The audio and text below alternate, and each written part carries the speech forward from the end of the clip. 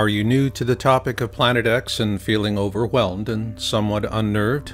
And while you may reject the concept, you have a sense of an internal knowing that propels you forward.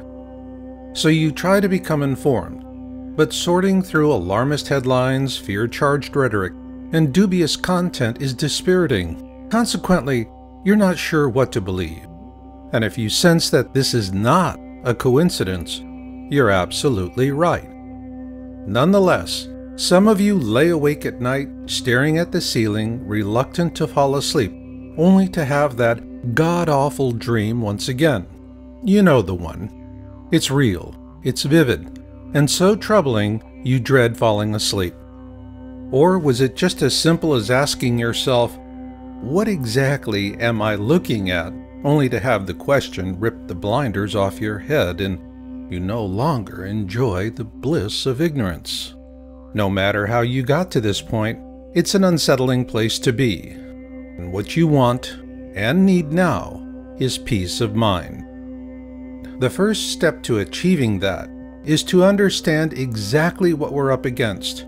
This is because most of us instinctively understand that long after the beans, bullets, and bunkers have played out, the good folks who make it to the backside when we see those beautiful blue skies again will need something more to keep them going.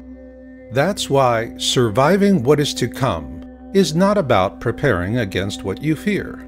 Rather, it is preparing for what you love. Because holding on to each other is far more important than holding on to things.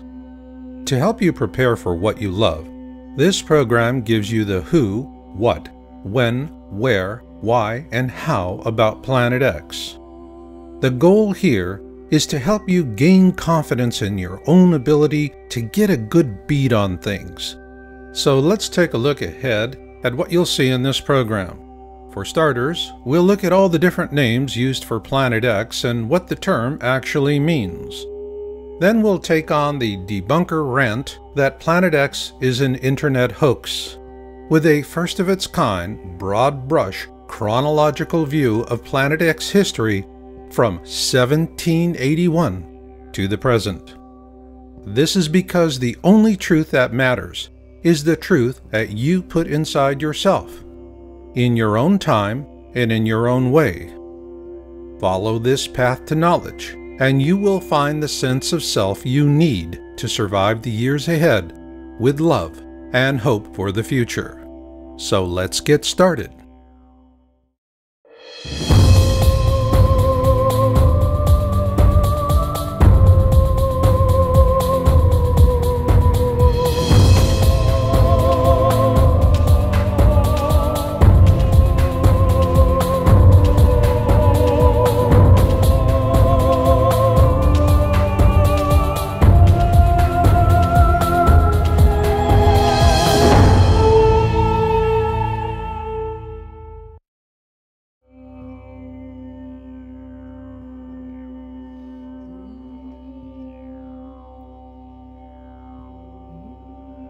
The term Planet X was coined by the American astronomer Percival Lowell sometime between 1905 and 1908.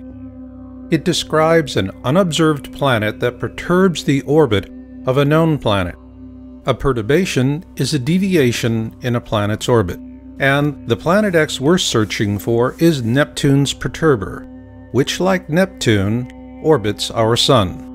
For this reason, Planet X is described in ancient wisdom texts and folklore from around the world as Marduk, Frightener, Destroyer, Hercolubus, Nibiru, and more. So is Planet X really nothing more than an internet hoax perpetrated by panic for profit fearmongers as debunkers claim? Or is there more to it than that? There is. And it begins in 18th century Europe.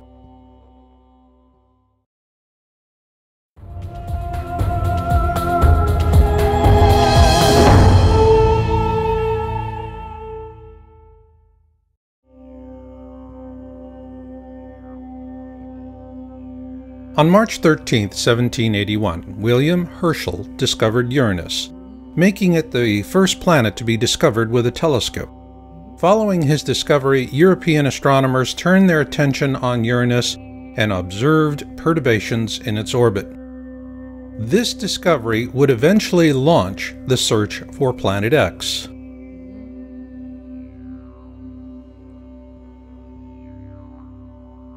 If one were to choose the father of Planet X research, it would have to be Alexis Bouvard, a French astronomer who observed the perturbations in the orbit of Uranus and attributed them to the existence of an unknown planet. The first, Planet X. Unfortunately, Bouvard died before the coordinates for Neptune could be mathematically determined by French mathematician Urbain Le Verrier and British mathematician John Couch Adams, using Bouvard's observations.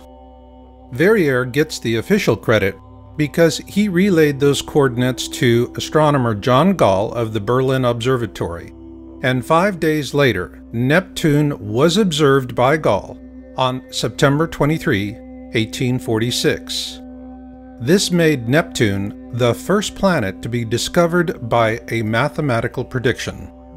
So, Neptune was also the first Planet X to be discovered but subsequent calculations based on the orbits of Uranus and Neptune indicated the presence of yet another planet X well beyond the orbit of Neptune, and so the search resumed.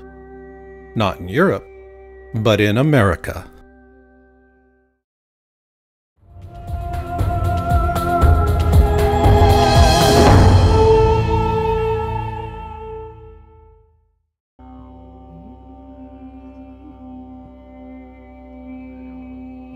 The Lowell Observatory was established in 1894 in Flagstaff, Arizona, by Percival Lawrence Lowell, an independent businessman, mathematician, and astronomer.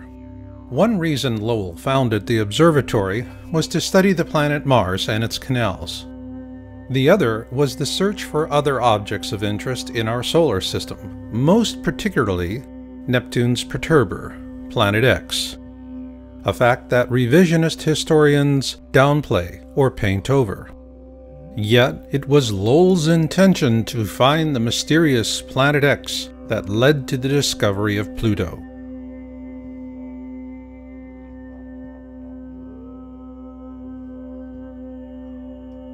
In 1929, 14 years after Lowell's death, a young astronomer by the name of Clyde W. Tombaugh was retained by the Lowell Observatory to carry on the search for Planet X. And on February 18, 1930, he discovered Pluto. At the time, astronomers believed he had found Planet X, Neptune's perturber. Consequently, the topic of Planet X languished for some time after Tombaugh's discovery. However, after the discovery of Pluto's moon Charon in 1978, it was determined that Pluto lacked the mass to be Neptune's perturber, as it is only about 60% the size of our own moon. So with that, the search for Planet X was once again afoot. It's also interesting to note that Pluto was later demoted to the status of a dwarf planet in 2006 by the International Astronomical Union.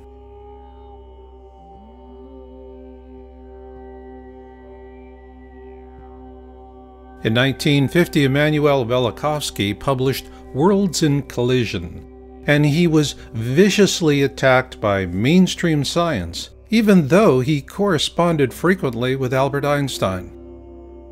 What generated this medieval response from modern science is that Velikovsky used ancient accounts to question the Darwinian notion of evolution with evidence of periodic cataclysms caused by large objects flying through the core of our solar system.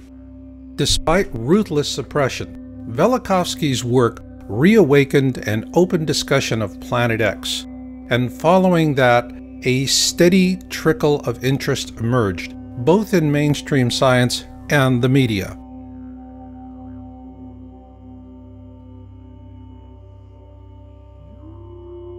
On March 3, 1972, NASA launched the Pioneer 10 spacecraft to explore the outer planets.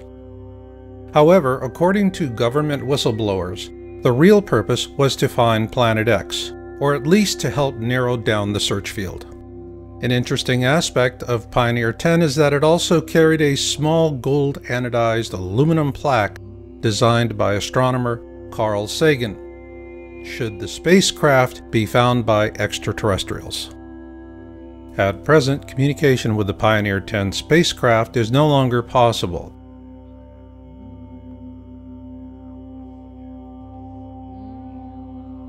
Following the launch of Pioneer 10, the topic of Planet X would have languished again had it not been for Zecharia Sitchin, the author of The Twelfth Planet, which was first published in 1976.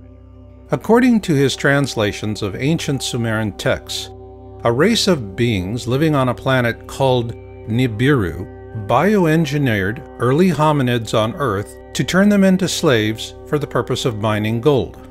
Called the Anunnaki, these beings lived on a planet the Sumerians called Nibiru, what we call Planet X today, and the Sumerian accounts tell us that it orbits our Sun every 3,600 years and flies through the core of our system, often causing great cataclysms on Earth.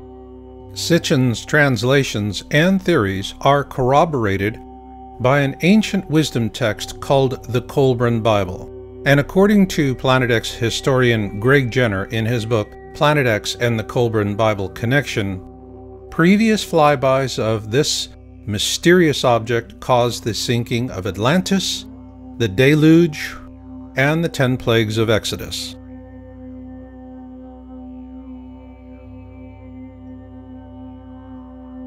Although Sitchin was continuously mocked and attacked by fundamentalists, our government took his work seriously, and on January 25, 1983, NASA launched the Infrared Astronomical Satellite, IRAS. Its mission was to map the sky using infrared. According to NASA, IRAS was unable to complete its mission due to a failure in its supercooling system, and much of the data collected from the probe was classified and has never been disclosed. Several government whistleblowers say that this was a cover up because NASA shut down IRAS after it imaged Planet X.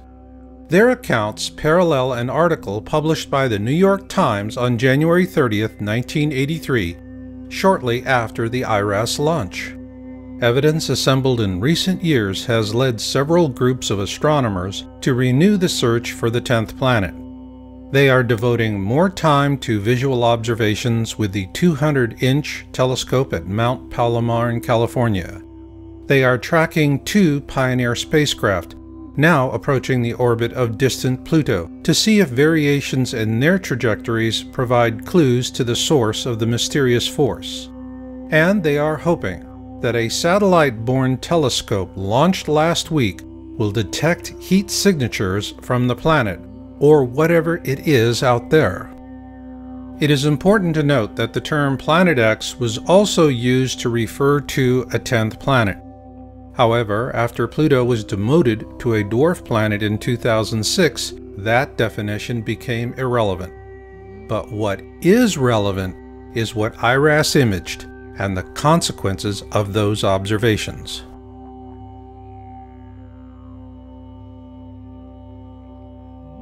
In a Victoria Advocate article published on June 14, 1988, NASA astronomer Dr. John D. Anderson was quoted as saying that telemetry from the Pioneer 10 spacecraft indicated the existence of Planet X. Also note that this article was sourced from Google News and was featured in YOWUSA.com's March 2012 article titled the Planet X cover up in the mainstream media. Following publication of our article, the entire June 14, 1988 edition was deleted from the Google News site. However, a complete copy is available for YOWUSA.com subscribers. But what is relevant here is that Anderson is a NASA astronomer with one heck of a resume, and what he said in that 1988 news article was powerful.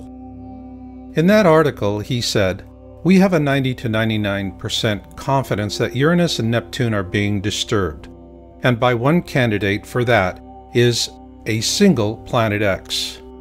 At that point, our government became more interested in keeping public attention focused much closer to home. After all, if you can't see it, it's not there, so go back to sleep, America. Nothing to see here. However, a few curious minds had other notions. On October 1988, Dr. Robert S. Harrington, the chief astronomer for the U.S. Naval Observatory, published his paper, The Location of Planet X, in the Astronomical Journal. In an August 30, 1990 television interview with Zecharia Sitchin, Harrington also said that Pluto had been a satellite of Neptune, but it was dislodged by Planet X, which he believed could possibly sustain some form of life. He also showed Sitchin a diagram he had created approximating the location of Planet X. Following that interview, Harrington commissioned the construction of a special telescope for a Planet X photographic sky survey in 1991 which was completed at the Black Birch Observatory in New Zealand. The New Zealand observations were performed using Harrington's calculations, and the results were sent to NASA. However, those films vanished and have never been seen again, which leaves us with a big question. Did Harrington actually find Planet X, Neptune's perturber?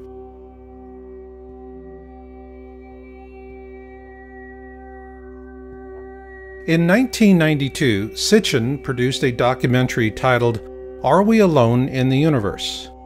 At the end of that film, Sitchin quotes a NASA press release from that same year.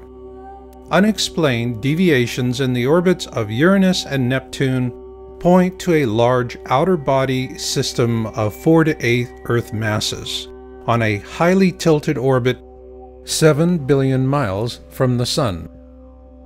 This NASA press release suggests that Harrington did find Planet X in 1991.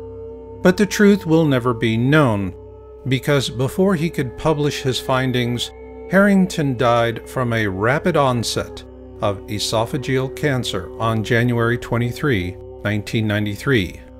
With his New Zealand findings suppressed and having died before he could publish his findings, many believe he was assassinated. One of the reasons given by those who subscribe to the theory of an assassination was an obituary by Charles E. Worley of the U.S. Naval Observatory. Worley wrote an obituary about Harrington that states, Late in his career, Bob seemed quite skeptical of such an object, however. It is important to note that no other sources have come forward to corroborate Worley's claim. Consequently, Harrington's mysterious death was a shot out of the dark that quickly silenced the Planet X topic, both with the mainstream media and science community alike. In a very real sense, it was a veiled threat. Tamper with this at the risk of your own career, or perhaps even your life. In this regard, Worley's obituary was highly effective. This is for sure. Nonetheless, there is a curious question. Harrington built a custom telescope for a U.S. Naval Observatory station in New Zealand. The mission was simple to find Planet X. So then, did they? Who knows? Because until NASA decides to declassify Harrington's observations, all we can say is that where there is smoke, there is fire. Meanwhile, we're not helpless either, and you'll see why later on in this program. But for now, if you are beginning to feel that the time has come to begin your own planning and preparation for whatever may come, then know this. When the worst of it hits, it will not be brief. This will not be weeks or months. Rather, we're looking at several years, perhaps longer than a decade. What this means is that your supplies, no matter how much you have on hand, is nothing more than a buffer. it buys you some time to work something else out. To optimize that opportunity of time, gather knowledge now, because after things run out, knowledge will help you to endure. And now, I'd like to share some of this very knowledge with you. It's something I've put a lot of work and love into because I know it will help people to make it to the backside. And that is what I'm all about. For those in preparation and planning, healthcare is always a problematic area because it is focused on the pills, potions, and supplements preppers set aside to help get themselves through a cataclysm. And it is problematic because all things physical play out. So a practical solution is what we call transition planning. So is this a December 21, 2012 solution? No. In our last video, Planet X System Observations and Orbital Path Analysis, we addressed December 21, 2012 as an awareness event. It was media driven and it was successful in creating awareness, so on that regard, Mission accomplished. Now, transition is the mission. Simply put, surviving the worst of times begins with surviving the best of times. So in this program, we want to introduce the core concept of transition planning. It is a four-stage survival resource rating system.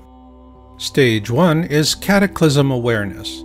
This is when the mainstream media begins to seriously report the news to the public at large, and panic buying ensues. If you're not prepared by this time, be ready for long lines and short supplies at the store. Stage 2 is Cataclysm events. Simply put, the first to fall will most likely be the last to know. But planning and luck will also play equal roles. While planning and preparation is not a guarantee that you and your loved ones will survive these events, it will, however, dramatically increase your odds of survival. And with repeated events, expect all or part of your survival stores or caches to be exhausted, lost, or stolen. Stage 3 is post event. Those who survive the cataclysm event will search for survivors and pull together into small, self-organized groups. While most preppers set aside enough for themselves and their loved ones, as a member of a larger survival group, you'll also share with them as well.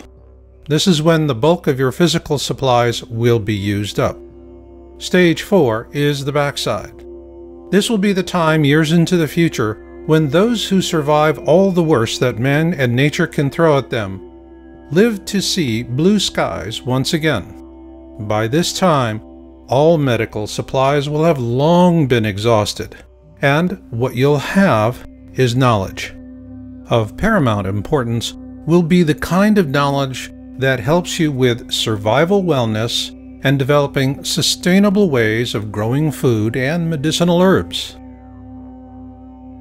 This brings us to the simple metric of our transition planning system. It's a rating system. You rate your resources, physical and knowledge, in terms of how far they'll get you through the process. Here are a few examples. The Internet is a fabulous Stage 1 resource, but it likely will not go much further than that.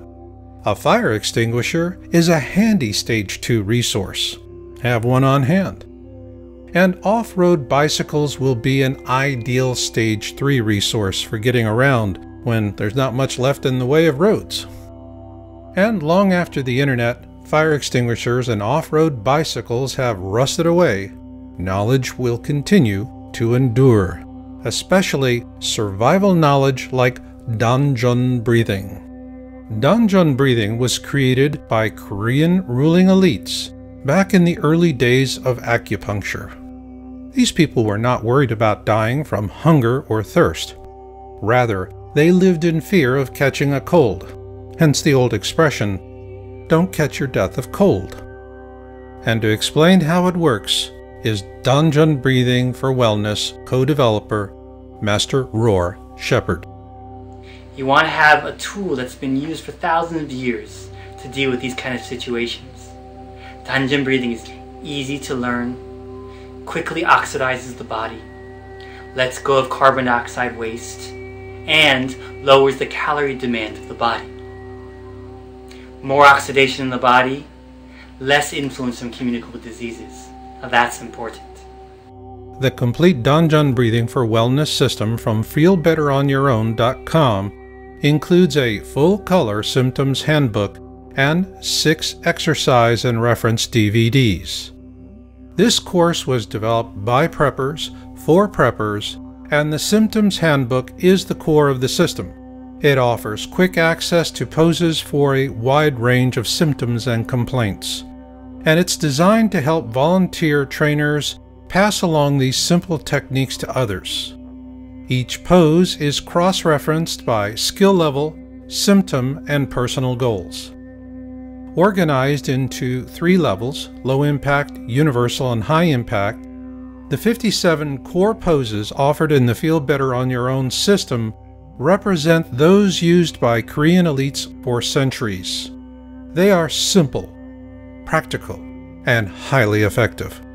To learn more, visit feelbetteronYourOwn.com today and view our free instruction videos.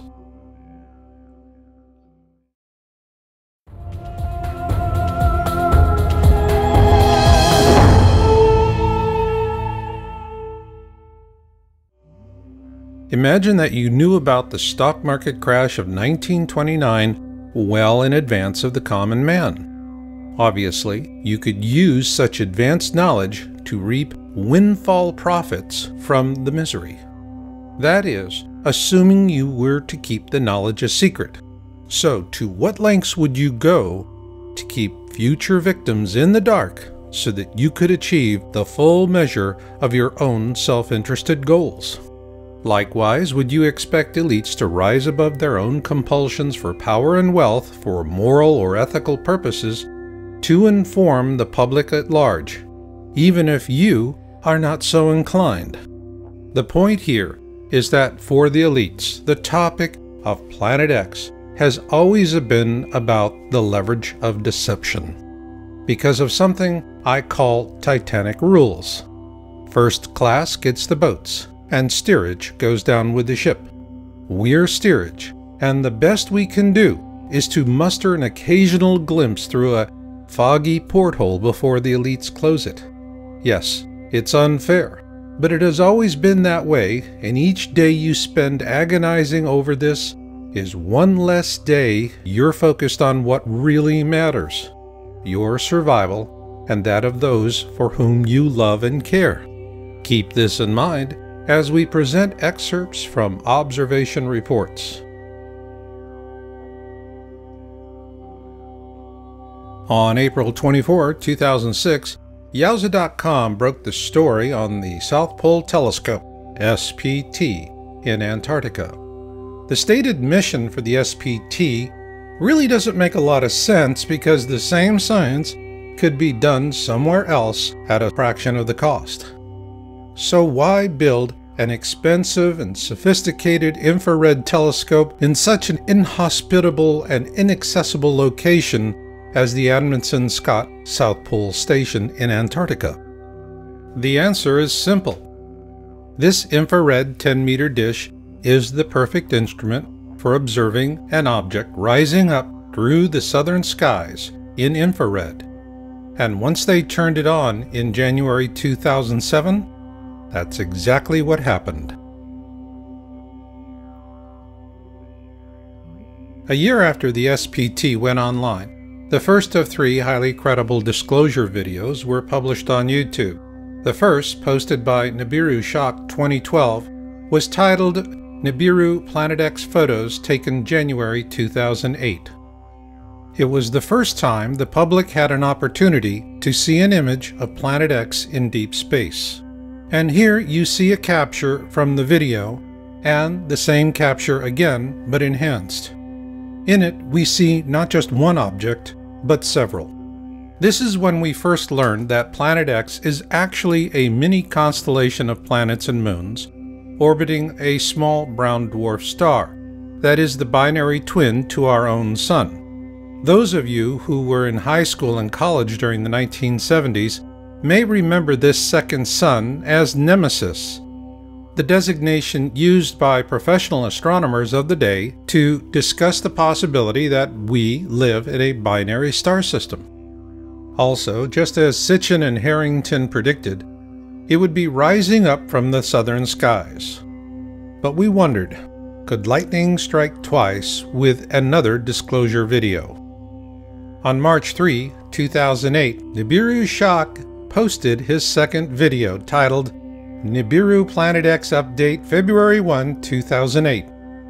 What do you know, lightning did strike twice. And in that video, we're told that Nibiru is now inside the Kuiper Belt, well beyond the orbit of Pluto.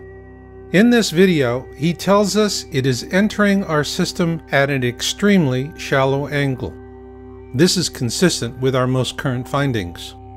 In this second video, Nibiru Shock 2012 gave us a brilliant series of images that clearly show Planet X is a rather substantial mini constellation of planets and moons, orbiting a brown dwarf star that is in turn orbiting our own Sun. Consequently, it does not look or move like anything humans have seen in over 3,600 years. He also told us that governments are afraid of a panic. Perhaps. But then again, remember Titanic rules. First class gets the boats, and steerage goes down with the ship. We're steerage. Why do we say this?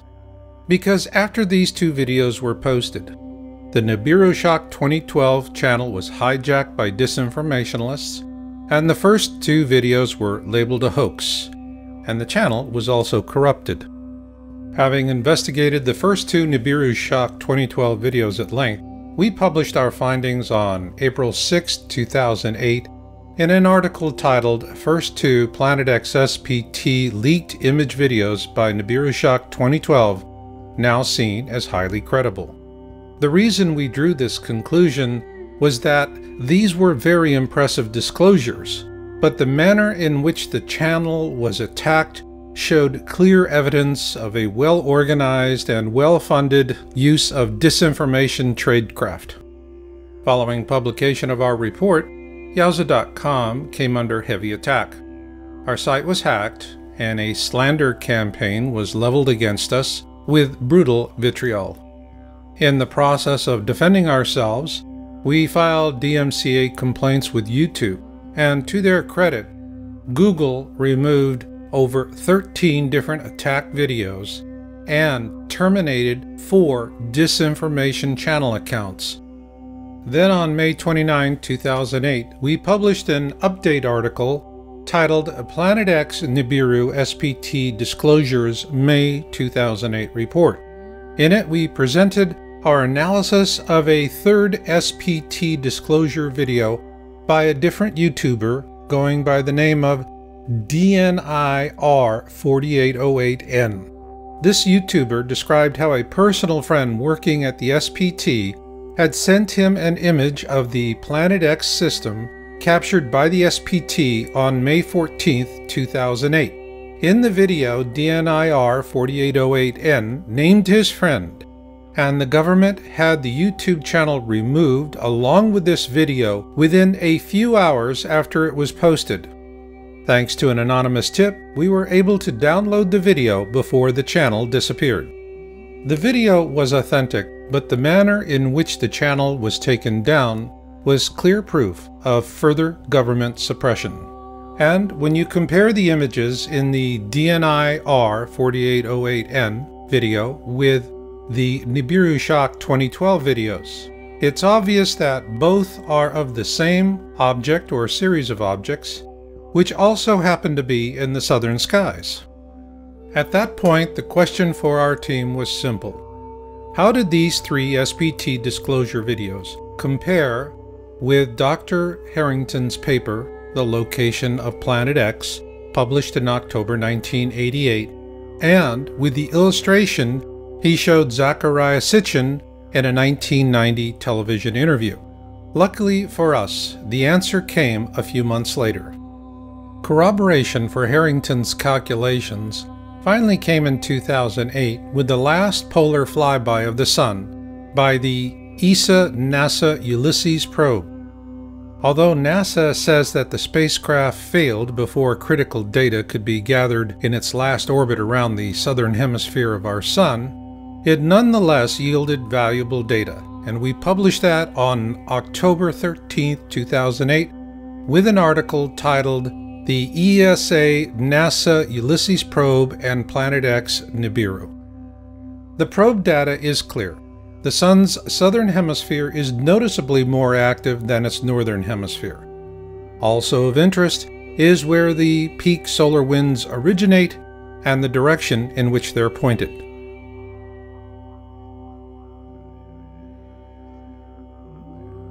Our team continued researching Harrington's paper and the many disclosure videos we'd seen. Finally, on September 7, 2010, we published our findings in an article with a video titled The Only Three Authentic SPT Disclosure Videos of 2008. Simply put, the three videos we discussed in this program by Nibiru Shock 2012 and DNI R4808N are the real deal.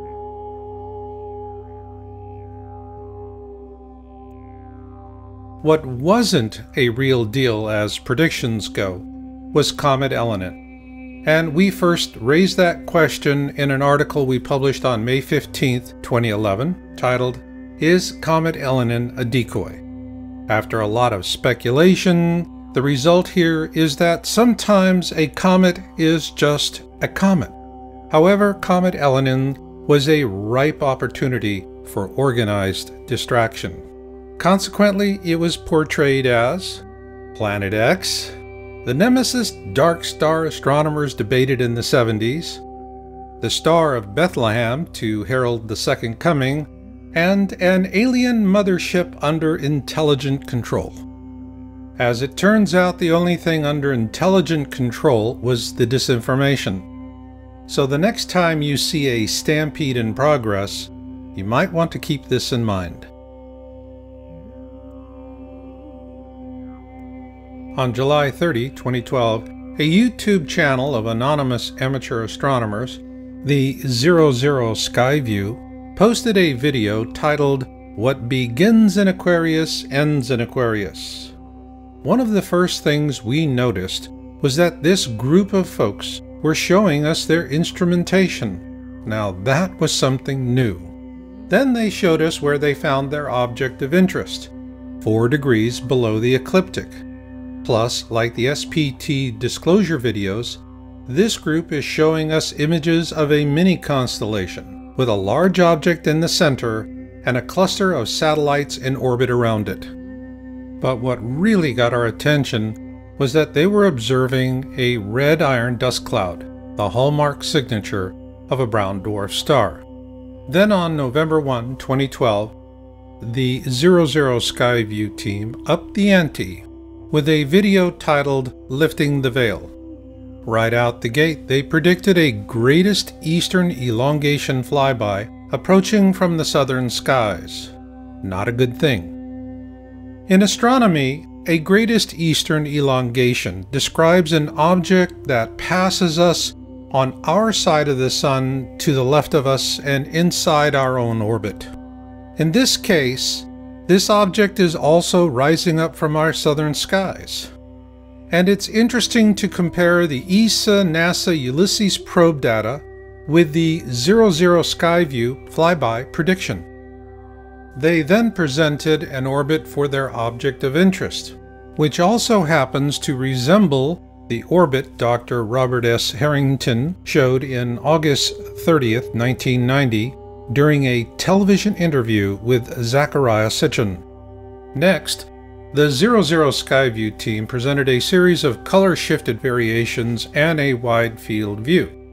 However, their last image is of a mini constellation in Aquarius, and it is similar to the mini constellation in the January 2008 disclosure video by Nibiru Shock 2012 titled Nibiru Planet X photos taken January 2008. So were they seeing the same thing? Well, we must wait and watch because this mini constellation moves through the sky like nothing we've ever seen before. However, what we can say is that when it does appear for all to see, it will appear suddenly. And given the observations for 2013 you're about to see, the need to plan and prepare for whatever may come is more important than ever before. But first, we want to acknowledge you ladies out there who've taken an interest in Planet X. When we published our first article in January 2002 on Planet X, women represented a 12% audience share. But in 2013, your ranks have grown to nearly three times that. And we want to thank you intrepid ladies out there because, well, the topic of Planet X is no longer a boys' club.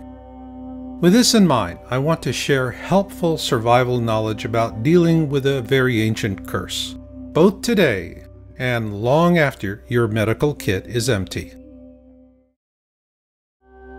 Every self healing energy art is about drawing energy and oxygen into the body. But only Danjun breathing focuses on an area of the body women know as the womb, below the belly button and above the pelvis.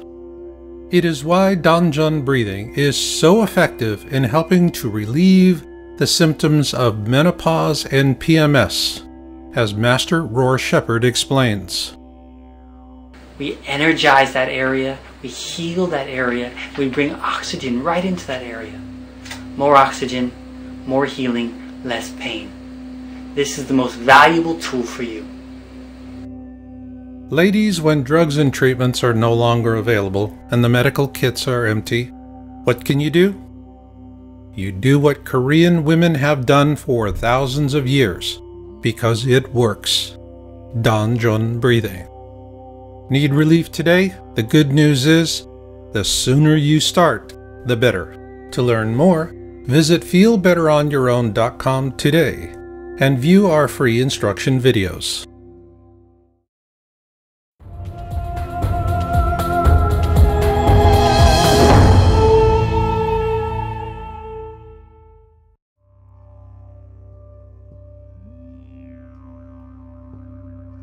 At the beginning of January 2013, YOWUSA.com researchers began tracking an uncatalogued object using the Vulcan feed camera from the Turrialba volcano in Costa Rica. I dubbed the object Bluebonnet. With these observations, we began to see a pattern forming in terms of Planet X being a mini constellation instead of a single object. Though Bluebonnet is clearly not a brown dwarf companion to our own Sun, its movement through the sky does raise the possibility that it could be a far flung orbital of a second Sun.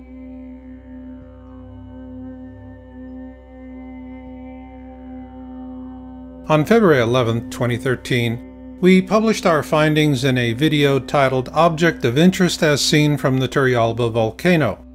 In this frame, you see Bluebonnet above the Turrialba volcano and specification data for the Vulcan feed. Turrialba is 10 degrees north of the equator at approximately 11,000 feet, and the Vulcan camera was pointed to the southwest with a good view of the Pacific Ocean on a clear day. In that video, we explain the difference between the horizon as we see it here on Earth and represented by the red line. The green line you see cutting through the center of the Sun is the ecliptic. The ecliptic is the plane of our solar system, and all of the planets orbit the Sun within a few degrees of it.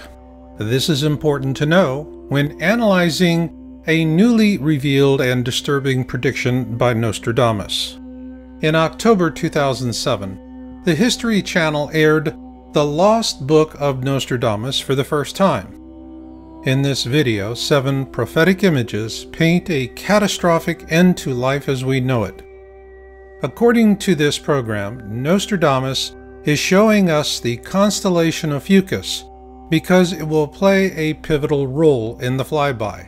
This was interesting because the Vulcan feed image data also shows Bluebonnet transiting through or very near to the constellations Ophiuchus and Sagittarius in December of last year.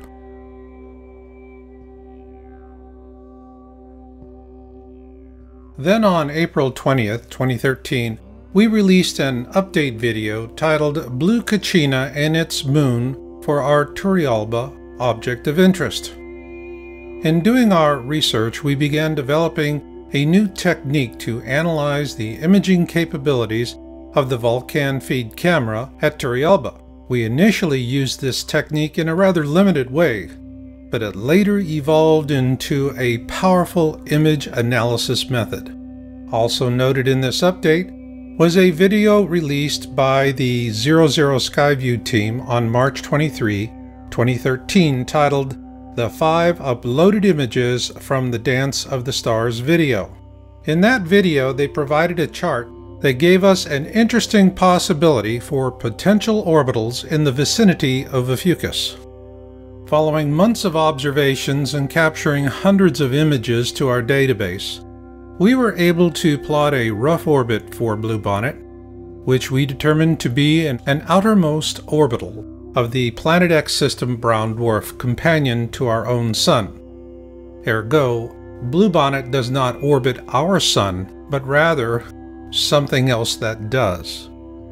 We also looked at the predictions of remote viewer Major Ed Dames about these times and what the Kolbrin Bible tells us to expect. The first passage of Manuscripts 3 4 begins with When blood drops upon the earth, the destroyer will appear, and mountains will open up and belch forth fire and ashes. This is a key passage, so let's take a moment to study it. When blood drops upon the Earth refers to the iron dust cloud surrounding the Planet X system. The destroyer will appear. What this tells us is that the iron dust cloud precedes the arrival of the destroyer, which in this case is Planet X, the ancient Hebrew and Egyptian description for this mini constellation. And the rest just doesn't get any better.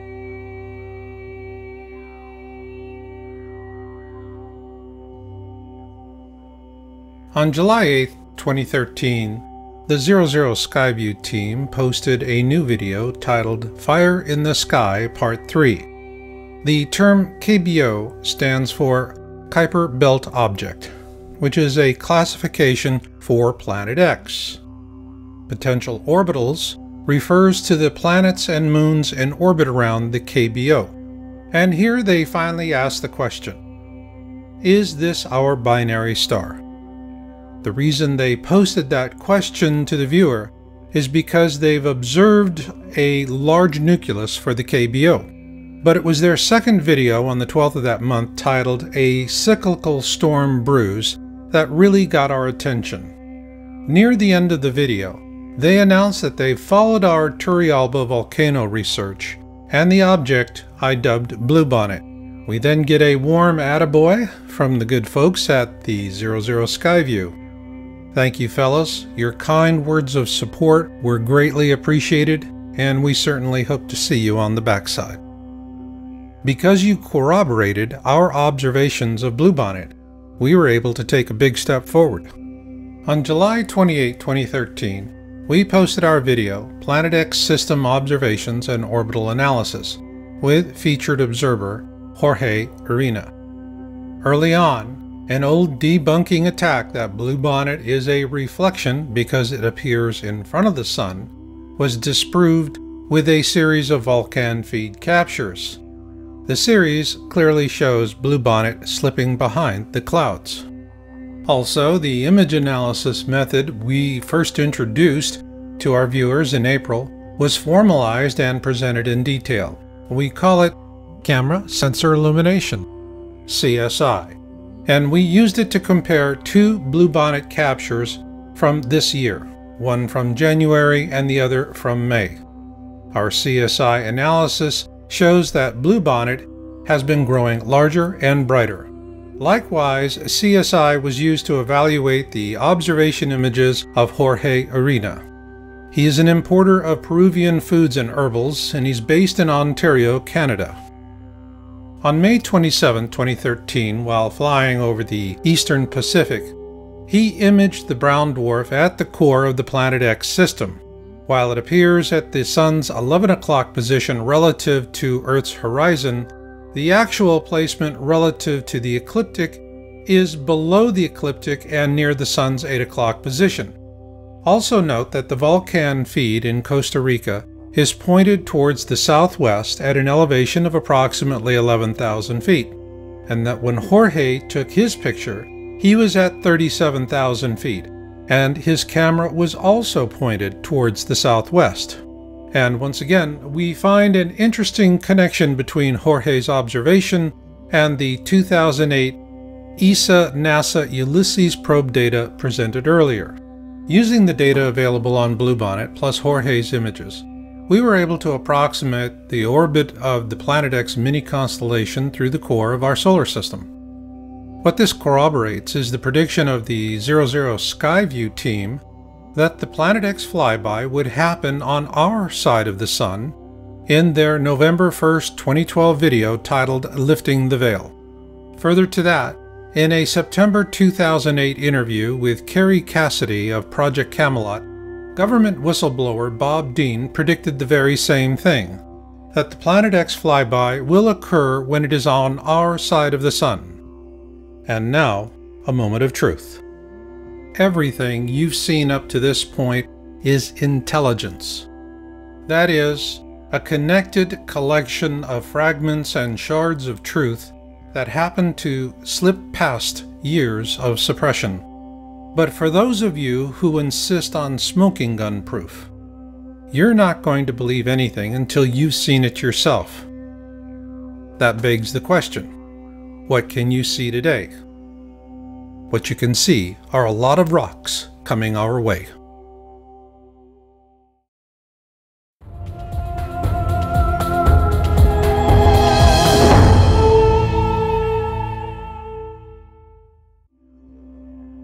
The American Meteor Society was founded in 1911 for meteor observations. It is a reliable source for information about meteors and fireballs. If you need to see things for yourself, visit www.amsmeteors.org and support the effort. But why would you want to do that?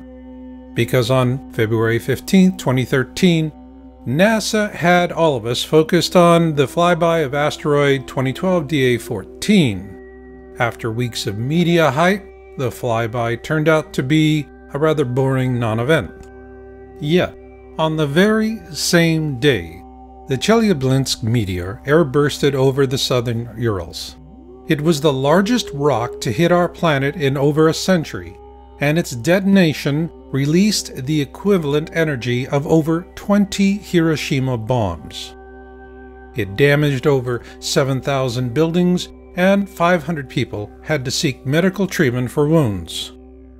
When pressed by the media for an explanation as to why NASA never saw it coming, they finally had to admit that they were blindsided by this meteor because it came out of the sun and that they do not have any telescopes pointed in that direction. Still the same, can you imagine the carnage that would have occurred had this meteor airbursted over a major American city, with the equivalent energy of over 20 Hiroshima atomic bombs? The point here is that we can continue to argue about what is happening here on Earth in a way that keeps the consensus out of reach.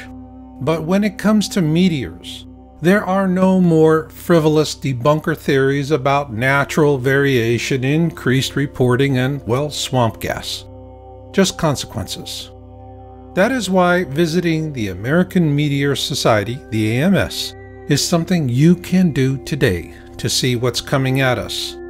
To show you why, we're going to show what people are seeing and reporting from 2010 through October 2013 based on AMS observation reporting data. Next, you will see our statistical analysis for the following fireball observation trends the average number of reports per event, number of reports by classification, multi-state event observations, fragmentation observations, events with sound reports, and finally a comparative trend summary that ties it all together. So let's begin.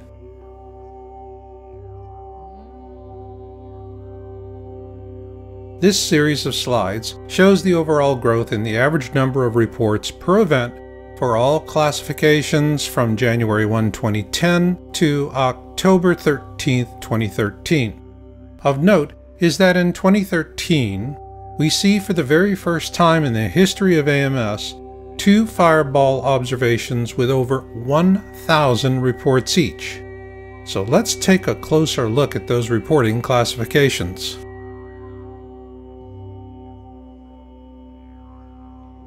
The AMS classifies meteor observations based on the number of reports per incident, where a mid-sized class event has 6 to 20 reports, a significant event has 21 to 50 reports, a large event has 51 to 100 reports, and a huge event has over 100 reports. So let's begin with a look at the mid-sized events. Here we see a pronounced jump from 2010 to 2011. Part of that jump can be attributed to the implementation of new reporting procedures by the AMS. Now let's add the number of significant reports with 21 to 50 observations each. Here we see a clear growth trend. Interestingly enough, there were no significant large events in 2010 but there were significant large events in 2011 and 2012, as well as a marked increase in 2013. In terms of huge events with over 100 reports, 2010 was barely noticeable. However, that picks up in 2011 and doubles in 2012, and then again in 2013. Given that we had two events with more than 1,000 observations in 2013, Let's take a closer look at the uptick in huge events. Here we see the jump from 2011 to 2012 and then again to 2013 is stunning to say the least. Not only is the trend huge, so are the fireballs or bolides as they are also called. So what's driving this trend? Multi-state observations.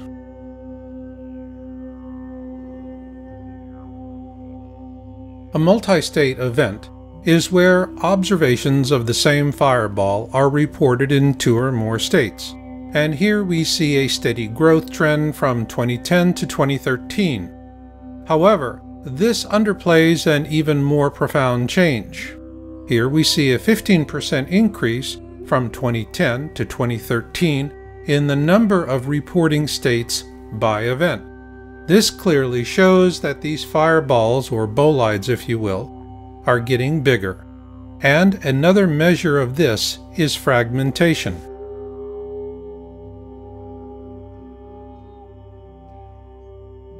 Fragmentation is a key indicator of size, and while angle of attack and velocity also play a factor, the rule of thumb is the larger the meteor, the more likely it is to fragment, or break apart if you will.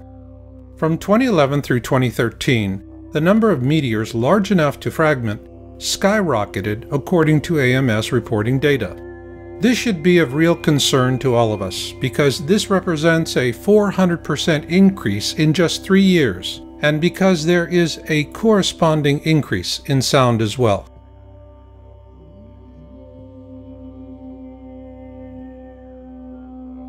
The AMS tracks two kinds of sounds concurrent sounds heard during the flyby, and delayed sounds heard just afterwards. These charts are a combination of both, and the trend is clear.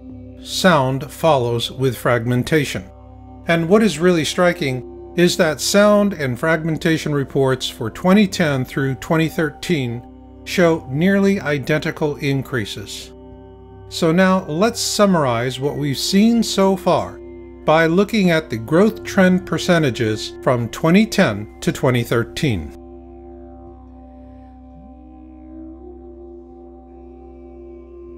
Now let's look at a big picture view of the AMS data based on the average number of observation reports per event, events with sound reports, fragmentation observations, and multi-state event observations. And what we see here, beginning with 2010, is a consistent growth trend by percentage from 2010 through to 2013. It is important to note that all of the data presented in this video is for the 2013 reporting period of January 1, 2013 to October 13, 2013, with two and a half months yet to be reported.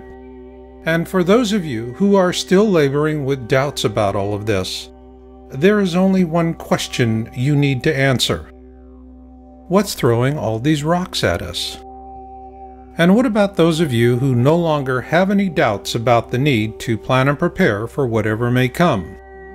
Do not plan against what you fear, but for what you love, because survival is not about holding on to things. It's about holding on to each other. For the YOWUSA.com and PlanetXTownHall.com research team, this is Marshall, and we'll catch you on the backside.